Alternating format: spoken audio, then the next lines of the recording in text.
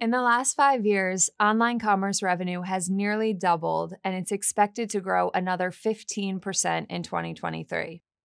Many news organizations don't think of this booming market as an opportunity for them.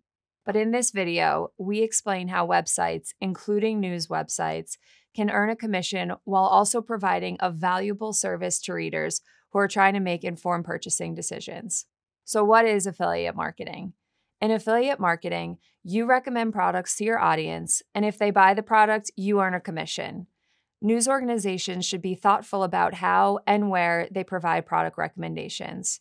Your editorial independence is important to earning the trust of your audience, and you should acknowledge if you receive a commission for your recommendations. For your audience, deciding whether to make a purchase can be a frustrating process. Reviews improve that process by steering readers to the best products when they're shopping online. I'm Claire Semenza from the Google News Initiative. Earlier in my career, I worked at CNN and held roles on the research and analytics team and was part of the business development team that created CNN underscored CNN's commerce site. Today, we'll share tips on how to help your audiences make the best purchasing decisions and how to use Google Analytics 4 to track your affiliate revenue.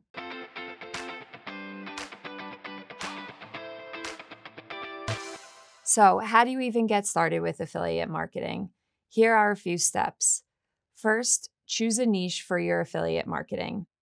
You want to review products that resonate with your audience and you are a trusted source about. This could be anything from fashion to travel to technology. Second, find affiliate programs. Once you've chosen a niche, you need to find affiliate programs to join. There are a number of different affiliate programs available, so you'll need to do some research on Google search or local affiliates directory to find the ones that are right for you.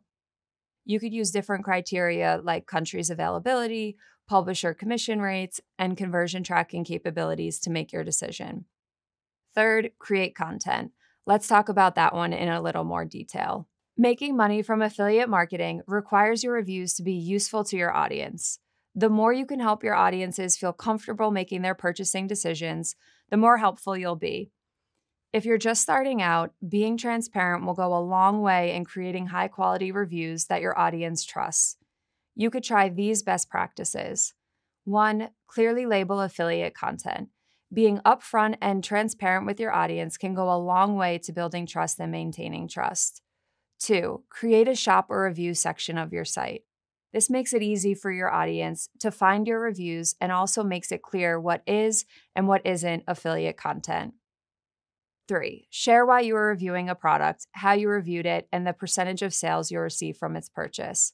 Quality matters at least as much as quantity when it comes to affiliate marketing. When it comes to product reviews, Google Search aims to surface reviews with original, in depth research, like original photos, instead of generic content that only summarizes basic information. So, what makes a review high quality? A few factors include the originality of the review, the depth of information about a product being reviewed, the presentation of the review, with elements like videos and even audio helping your audience learn about a product beyond what's provided from the manufacturer. Once they are produced, share your reviews across your site. Your review could contain the most insightful analysis, but if it's hidden on your website or is difficult to find, you'll only reach a fraction of your audience. By making your reviews easy to find, you could reach more audiences both on and off your site. Here are some simple ways you could do this. Display at least one review on your homepage. Add a search bar at the top of the page. This will help your audiences find what they need faster and easier. Promote your shop or review section in dedicated house ads.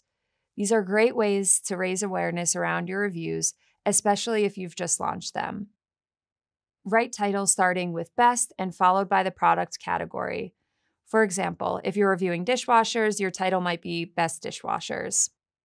Specific titles can help Google show your reviews to the right audiences. The final thing we recommend is to make decisions easy for your audience. Today, people do more research before a purchase, but it's easy to feel overwhelmed by just how much information there is. Here are a few ways you can make decisions easy for your audience. Rank your products, starting with your top choice. Label your top choice with a banner or other visual like Our Pick. This lets people quickly identify the best product as soon as they land on your review. Include short bullets of your criteria and rate how the products performed in each category, like a rubric or scoring guide. Add a buy button that lists the price of the product. This makes buying seamless and easy. As a recap, you can help your audiences make the best purchasing decisions with these best practices. Be transparent, write high quality reviews, share your reviews across your site, and make decisions easy. Now, you're probably wondering how do I know if these efforts are paying off? You can use Google Analytics 4 to see how many people click on the affiliate link or button using Google Tag Manager. The world of affiliate marketing is ever changing, and we hope this video encourages you to start experimenting. For more on revenue, check out the other videos in this series. Google also provides in depth coaching for news organizations through our labs. You can learn more and apply on our website, g.co slash news initiative slash labs. Send us any questions or feedback at contactgni at google.com, and good luck in helping your audience make the right purchasing decisions.